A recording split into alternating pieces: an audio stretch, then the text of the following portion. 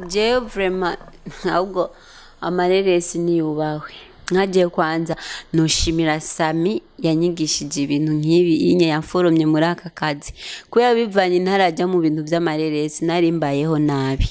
Igihe ngiyemwo je ndashobora guhanura nk'abantu abamama abakobwa cyangwa abapapa bavuga ngo abakinnyi b'amareresi bifata nabi. No. Wifata nabi bivanye n'ingeso uba ufise ibyo ibintu by'amareresi byaramfashije. Nimba mbayeho neza nkafasha umuryango ni ukubera imvu y'uko natanguriye mu mareresi. Ega mwari ikintu mutazi. Hari ukuntu umuhungu aza gutembera muhira. Si ukuvuga ngo bajye kwiperezanta aba hajyanye bajye kurobeza eh, umutingayi nyene. Aba ariko arabundira nk'ikintu. Ariko james umukunzi nsindagira umufiyanso je babiri nemera cyane. Wa mbere ni sami kandi yubahwe nakiza kubera muri abo bose nsindumvamo abakobwa uri kuravuga ngo ati ube wemera. Ubwo umuvuga gusa abahungu porwa ubwo akantu kamwe baza bagira twe turubahwa cyane. Urumva bivanye n'uko baba batwubaha kandi bakabona ibikorwa dukora. Baba biyumvira natwe badushize muri kompetisiyo ko twaba tubasumba. Nibaza niyo mpamvu bagize oya batuye abantu bataraca muri kompetisiyo na rimwe jewe mwana niyumvira imana yomfasha. Nkagera nk'ahantu byinshi bishobora gufasha imfubyi n'abapfakazi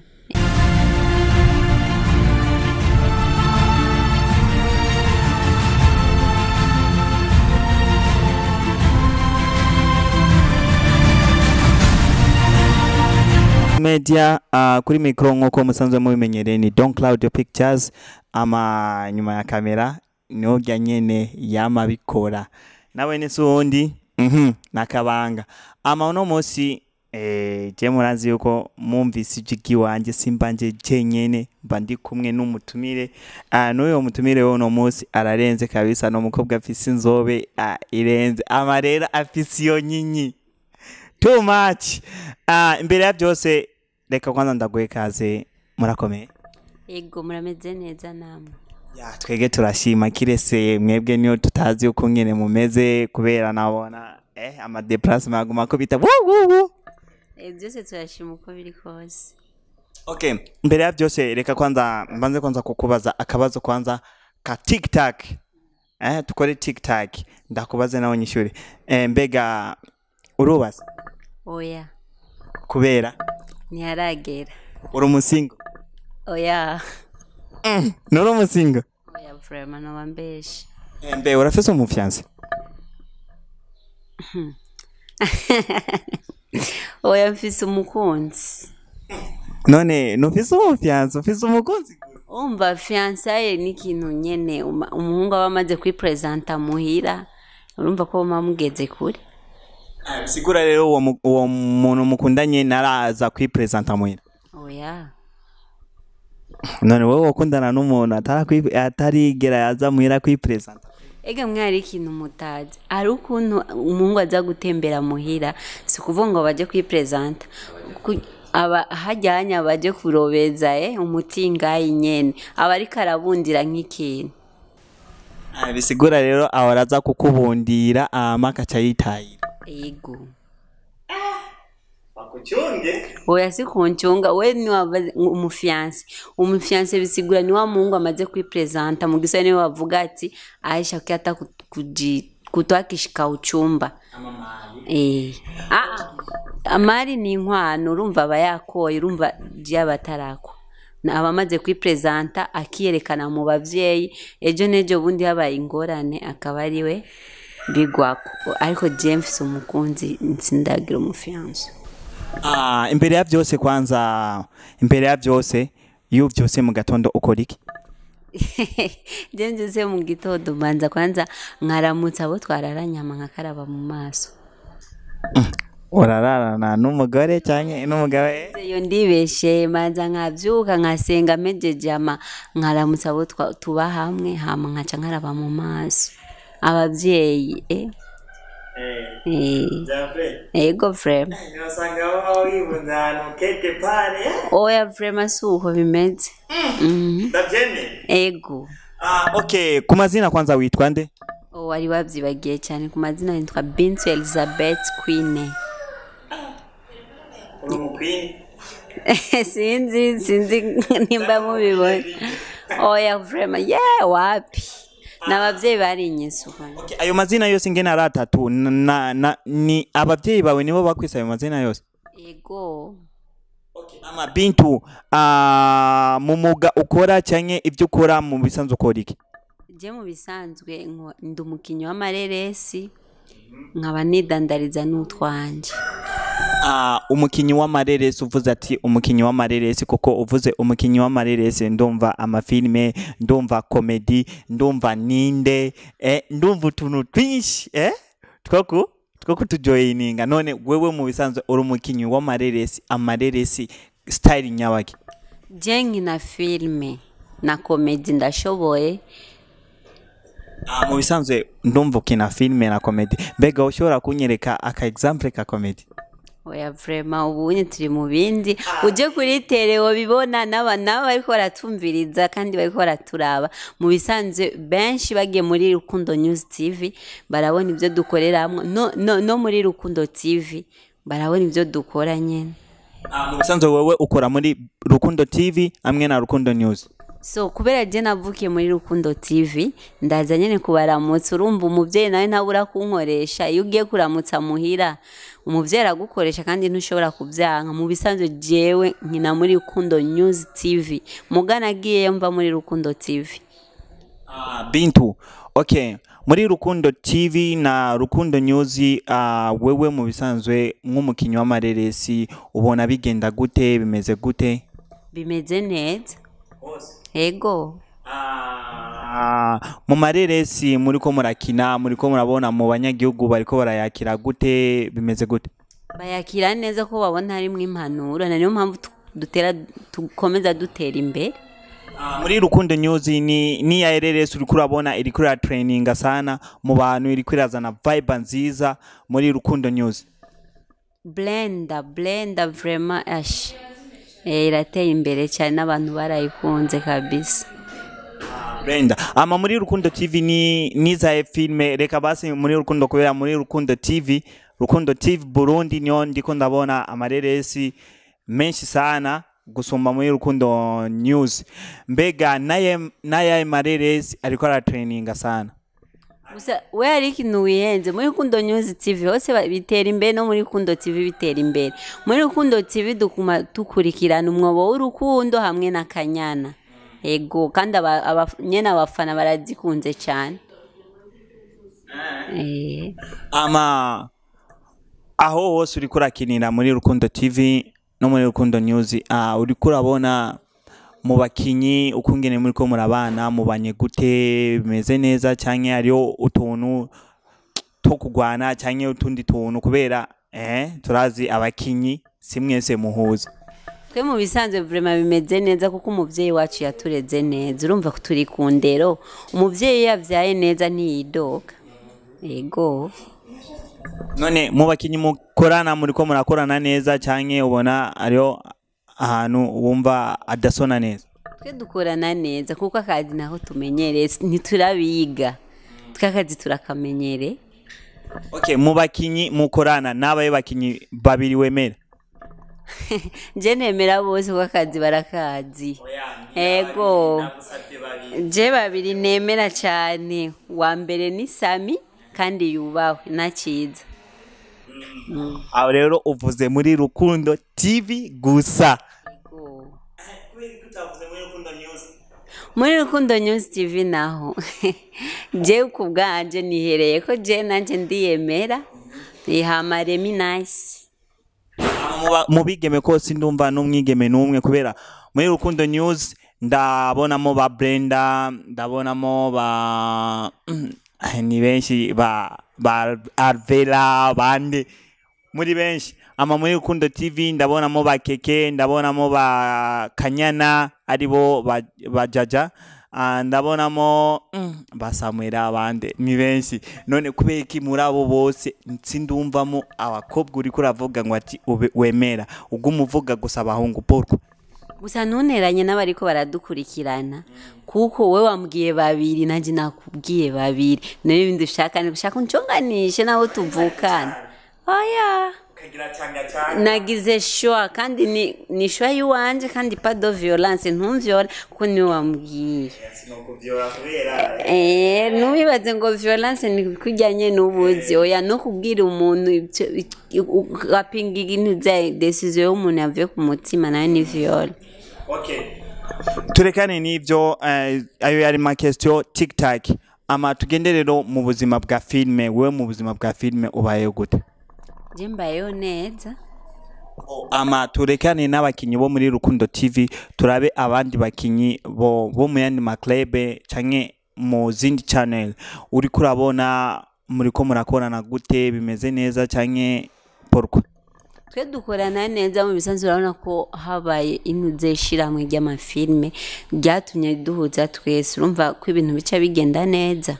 Ego twe dukorana neza turaba- turabaha amavyuzi nabo bakaduhereza amavyuzi. Cyangwa ugasanga twarakireye amagrupe abamizisi abakinnyi b'amareresi twese tugahurira hamwe mu kugira partage tugapartaja twese tugafashanya. Na niyo mpamvu ubona amafilme n'abamizisi twese duteza imbere igihugu cyacu cy'u Burundi. Ah, none ko ah, mu minsi iheze mu minsi iheze novuga nka- nk'amezi abiri cyangwa atatu yaheze ah, twabona imvugo zitari nziza kwa Fanny Lavine amwe na band wayo none kuri wewe nk'umukinyi w'amareresi wabibona gute canke nayahe nakahe kajambo babwira by'akajambo nowafasha ni impanuro gusaba kumvikana kuko bose ni bamwe. Kuko baba bari mu gikorwa kimwe bijya byo kuryagagurana ntabyo ari byiza. Icyiza ni uko bokwicara hamwe ba- bakihanura bakisubirako hama bakabandanya imirimo yabo. Ama muri iyo minsi iheze kandi basubiye kandi gutanga agashimwe k'umukinyi yakinye neza umu- umwandisi yanditse neza. None kubera iki twabonye abandi barabahaye mugabo nka kanyana yo muri rukundo tv batabahaye agashimwe ako, twita award kubera iki? Tubwira akantu kamwe baza bagira twe turubahwa cyane urumva bivanye n'uko baba batwubaha kandi bakabona ibikorwa dukora. Baba biyumvira natwe badushize muri kompetisiyo ko twaba tubasumba. Nibaza niyo mpamvu bagize uko Ah, rero mu cyama kishaka kuvuga yuko ntibabashyize muri competition kubera mu basumba. Ego ntu ebana ntusakuze. Wewe bandanye ibyo urimwo ijambo nakubwiye ni iryo nyene. None tuvuge yuko yajya amahera canke ijya award nimwari kuyakira nubwo bari kubashyiramo. Kubera ko utari kuyakira twari kuyakira nyene banze kudushiramo ko bazi ko twova aba mbere.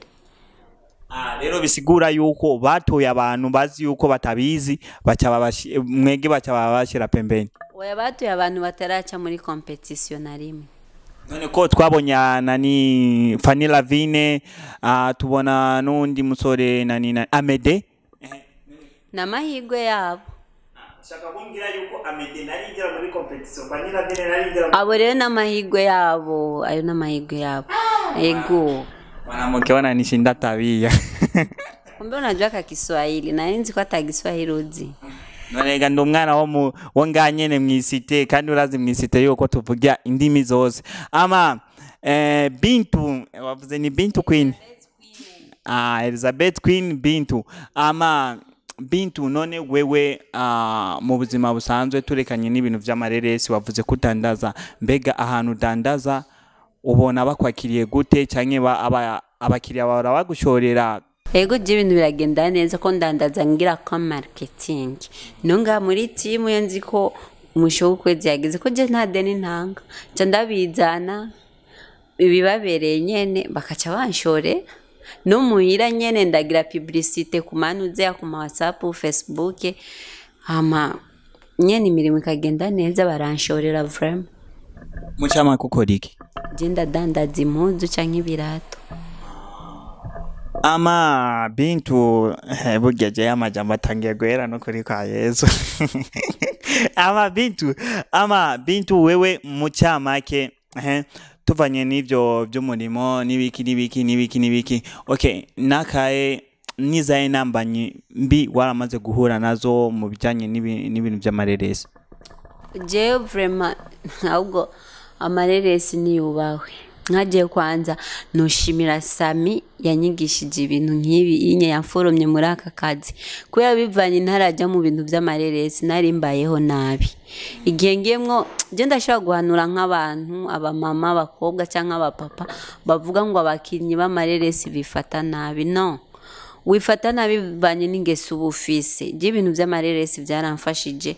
Nimba mbayeho neza nkafasha umuryango ni ukubera imvu y'uko natanguriye mu mareresi. N'umutayi noba mfise. Ni ukuntu mba njera amahera mpembwa mu- muri filime nkaca nkuramwo umutayi ego ama n'ivyaye ibintu vyakunegereje mu gihe uri muri filime n'ubu nyene uri muri filime n'ivyaye ibintu bikunezereza sana. Je gituma n'umugabo wambwiye ngo mve mu bintu by'amareresi nobimwumvisha kandi akantahura amareresi arimwo inyigisho nyinshi uramenya ukuntu ubana n'abantu ukuntu wikomporta neza. Mu bisanzwe nka jevrem ni gake wasanga ndiko ndayaga n'abantu. Kenshi muhira ntarajya mu bintu by'amafilime mpejeje ishure igihe naronka diplome. Nirirwa ndyamye nasohoka ariko nko kuja muri dushe koga nkasubira nkaryama. No mu isoko rimwe rimwe najyayo rimwe rimwe. Ariko bimaze gushika ngaha urumva naravugisha abantu nkayagisha abantu neza ariko kera harashobora kuza n'umushyitsi muhira. Nkabura iyo ntangura kumuvugisha nkabura iyo mpera n'iyo mpereza. Ugasanga abantu baguma bavuga ngo ndagayana sinzi. Ariko ubu eh, ndagara ariko ubu oya vraiment mbona ari bisanzwe. Bisigura rero mu cyamake winjiye mu mwuga w'amareresi eh, isoni zica ziraguheramo eh? so ntizari isoni kameremere urumva ubu narizi imico y'abandi. Ubu ndazi umuntu akazi ukuntu nobana nawe umuntu yitonda ukuntu nomuyagisha umuntu atukana ukuntu nomwi- nomwifatako imbere yiwe. Umva tubana n'abantu batandukanye. Uca muca mumenyana ukuntu mwokwigenza. Bintu ah, n'izahe ndoto z'ibisazi ufise. Oya je nta ndoto z'ibisazi ngira ahubwo mfise indoto z'akazoza jewe mara niyumvira imana yomfasha nkagera nk'ahantu je nshobora gufasha imfuvyi n'abapfakazi eh, n'abarya bana bo mw'ibarabara okay bintu ah, mu kurangiza ikiganiro mm, n'ivyaye ibibazo sinakubajije wari kuriyumvira yuko ntushobora kubikubaza hama uca uvyibaza kandi wiyishura oya je sinishura ahubwo reka nanjye ndabivuge hama nanjye nce ndakubaza akabazo. Je ibi ndazi ibyo wari- kumbaza ibyo wari kumbaza nza gusezera gute muri tv online canke nza gukora iki okay ku igi- igihambaye cyane ni uko wodufasha partage hama ntibibagire sabone hama na komantere hama ibikenewe byose. E n'akanimero ga telefone agatanga kugira baze barakurondera ibyo wari ubizi. Agatelefone kiwawe canke kiwawe kiwawe ya. Nonese journaliste barondera. Oya ntukameje ahubwo gahereza abafana. Kuko utebeje kupostinga baza barakwibutsa. Ego.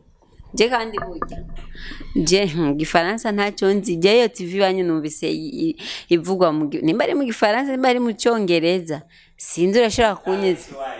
Talent wise. Okay bakunzi badukurikirana muri talent wise turabashimiye cyane kandi turabakunda.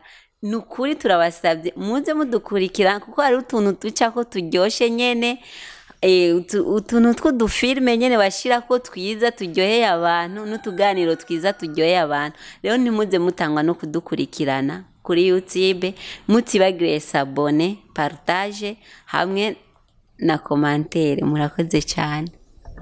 Bintu reka ndagushimira ego ndagushimiye nawe kuba wajya kudutemberera gusa n'ubu watugire surprise. Mm. si cyane. Ndazi ko muba muri mu kazi. Ego ya bakunzi ba talent wise eh, aha ni ho iherezo ry'ikiganiro cy'iwacu. Ama reka twizere yuko muguma mudukurikirana. Eh, eh, bye. Ciao.